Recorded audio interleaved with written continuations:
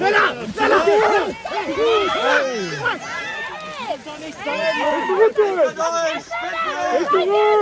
Feuerstein! Seid ihr komplett bescheuert? Das ist wahnsinnig! Übertreib nicht, Mann! Du hast keinen Grund dafür! Wahr sein, Was geht mit euch denn eigentlich nicht richtig, Mann? Mach zu, ich konnte nicht zurück,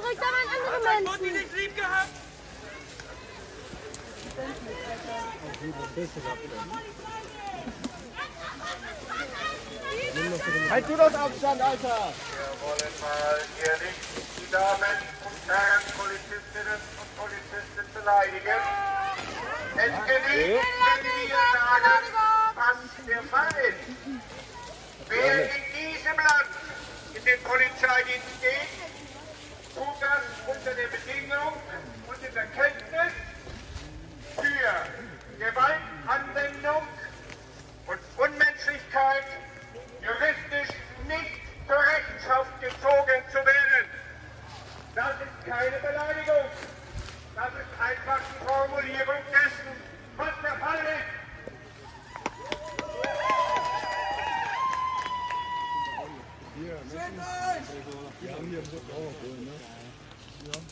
Meine sehr verehrten Damen und Herren Polizistinnen und Polizisten, ich bin außerordentlich froh, dass wir hier in der Bundesrepublik Deutschland einander gegenübertreten und nicht in den Vereinigten Staaten von Amerika.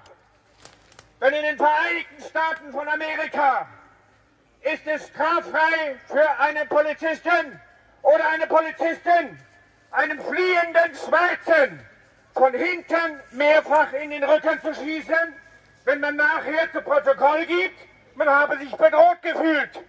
Aber, meine sehr verehrten Damen und Herren Polizistinnen, ich habe ein wenig Angst, ob und wenn ja, wann wir in der Bundesrepublik Deutschland US-amerikanische Verhältnisse bekommen.